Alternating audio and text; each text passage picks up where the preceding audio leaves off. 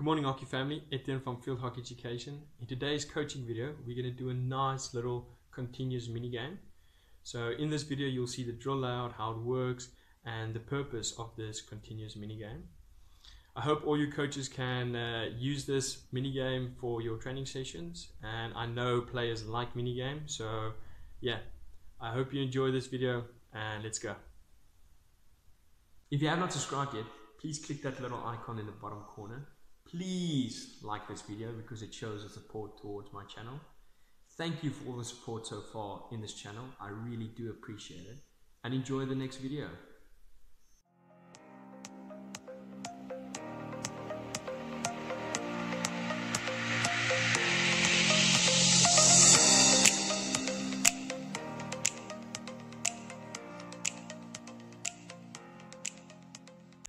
With this continuous mini game, the field's going to be divided into two. This side's always going to be 3 against 3. This side's always going to be 3 against 2.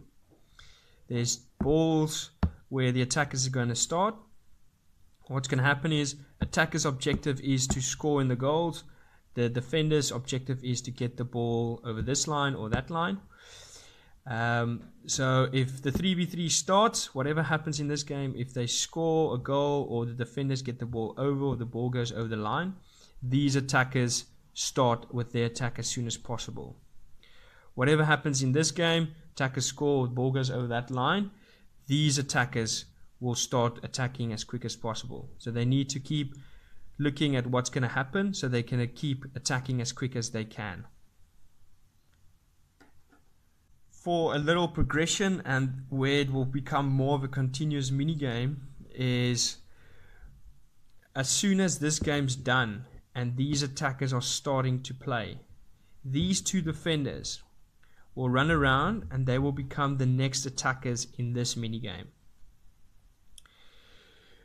Two of these attackers will become the next two defenders in this minigame, so one attacker will stay behind. Two attackers in this minigame will become these two defenders.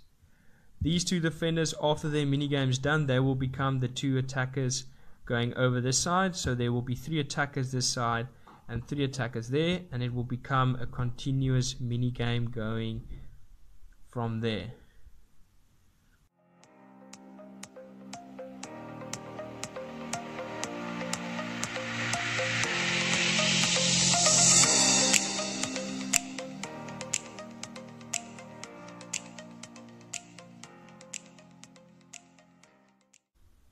Purpose of this mini game from the attacking side is they learn how to attack in small spaces. They learn how to use their advantage in a small area to get past the defenders as quick as possible and then they can have a goal opportunity.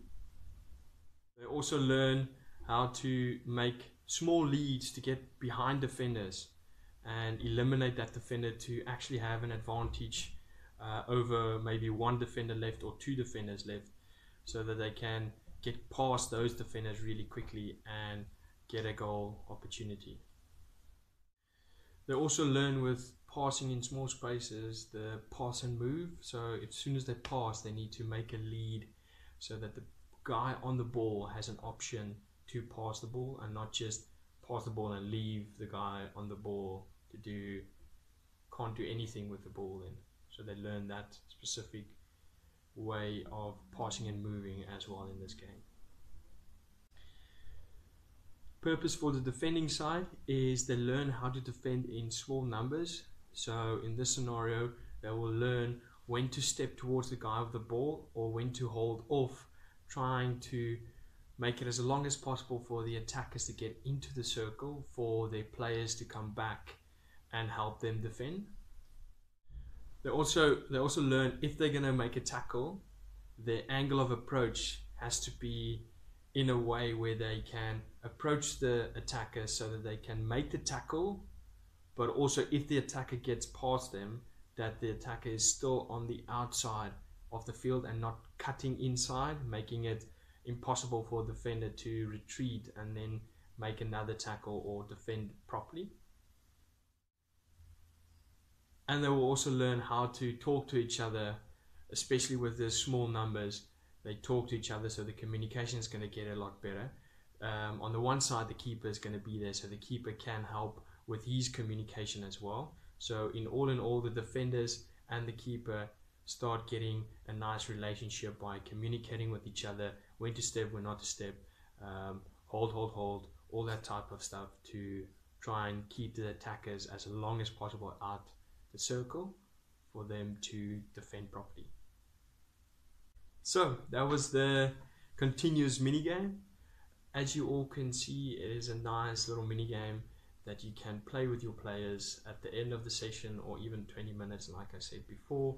And there's a lot of stuff they can work on with this mini game. So um, please use it if you can, coach it. It's a really nice type of mini game that you can play with your players, and they will struggle a little bit probably in the first bit to try and catch it. But as soon as they catch the the essence of the mini game, it's going to be a really fast-paced mini game. They're going to be tired afterwards, and um, yeah, it's a great mini game to teach them all that necessary stuff that they need to learn so they can become better players. So thank you for watching this video. I really do appreciate it and see you next time. Bye bye.